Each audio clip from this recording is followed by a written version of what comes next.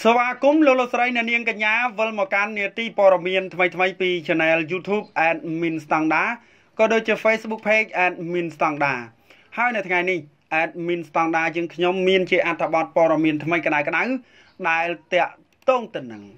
ជាប្រវត្តិសាស្ត្រហើយគ្រូពេទ្យអាមេរិកជោគជ័យវះកាត់ដាក់បេះដូងជ្រូកចូលក្នុងខ្លួនរបស់មនុស្សសកលវិទ្យាល័យ Maryland Medical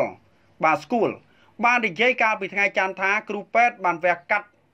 បាទគ្រូពេទ្យវះកាត់របស់សហរដ្ឋអាមេរិក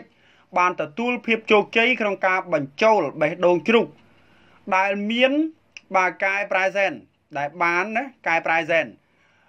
ទៅក្នុងខ្លួនអ្នកជំងឺម្នាក់ដែលនេះជាការវះកាត់លើកដំបូងក្នុងប្រវត្តិសាស្ត្រសាកលវិទ្យាល័យបាននិយាយនៅក្នុងសេចក្តីថ្លែងការណ៍មួយថាការវះកាត់នេះបានធ្វើឡើងកាលពីថ្ងៃសុក្រ ទី7ខែមករាហើយបង្ហាញជាលើកដំបូងថាបេះដូងសត្វអាចរស់រានមានជីវិតនៅក្នុងខ្លួនមនុស្សដោយគ្មានការប្រឆាំងភ្លាមភ្លាមនោះទេអ្នកជំងឺដែលមានឈ្មោះថា David បាទ Bennett អាយុ57ឆ្នាំរស់នៅរដ្ឋ Maryland កំពុងត្រូវបានត្រួតពិនិត្យយ៉ាងយកចិត្តទុកដាក់ដើម្បីតាមដានអំពីរបៀបដែលសរីរាង្គថ្មីដំណើរការ គាត់បាននិយាយមួយថ្ងៃមុនបាទការវះកាត់គាត់ថា រវាងការស្លាប់និងការវះកាត់ខ្ញុំចង់រស់ខ្ញុំចង់ដឹងថា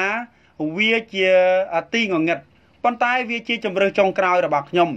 រដ្ឋបាលចំណីអាហារនិងឱសថ FDA បានផ្ដល់ការអនុញ្ញាតជាបន្ទាន់សម្រាប់ការវះកាត់នេះ នៅថ្ងៃចូលឆ្នាំសកល ដែលជាកិច្ចខិតខំប្រឹងប្រែងចុងក្រោយ សម្រាប់អ្នកជំងឺ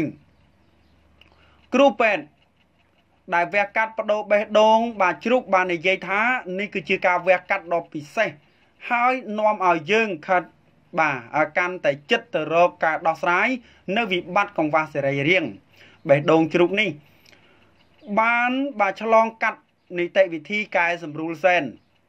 ដើម្បីកម្ចាត់សែនដែលផលិតជាតិស្ករការកែសម្រួលត្រូវបានធ្វើឡើងនៅក្នុងបាទក្រុមហ៊ុន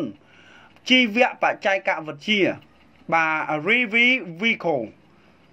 សរីរាង្គដែលបរិច្ចាគត្រូវបានដាក់ក្នុងម៉ាស៊ីនដើម្បីរក្សាវាមុនពេលវះកាត់ហើយក្រុមនេះក៏បានប្រើប្រាស់ថ្នាំថ្មី រួមជាមួយនឹងថ្នាំប្រឆាំងនិងការបដិសេធផងដែរដើម្បីទប់ស្កាត់ប្រព័ន្ធភាពស៊ាំនិងការការពារប្រឆាំងសរីរាង្គយោងតាមទូរលេខផ្លូវការបានបង្ហាញថាជនជាតិអាមេរិកប្រហែល 1.10000នាក់បច្ចុប្បន្នកំពុងរងចាំការបដូរសរីរាង្គហើយអ្នកជំងឺជាង6000នាក់បានស្លាប់ជារៀងរាល់ឆ្នាំមុនពេលទទួលបានការវះកាត់បាទផ្លាស់ប្ដូរប្រភព2បាងកកបោះចឹងប្រិមត្តអរគ្នាបាននេះគឺជាព័ត៌មានថ្មីទៀតហើយហើយបើសិនជាលើកទៅលើលោះត្រូវខុសដោយប្រការណាមួយក៏សូមខន្តីអភ័យទោសជាចុងក្រោយសូមជម្រាបលា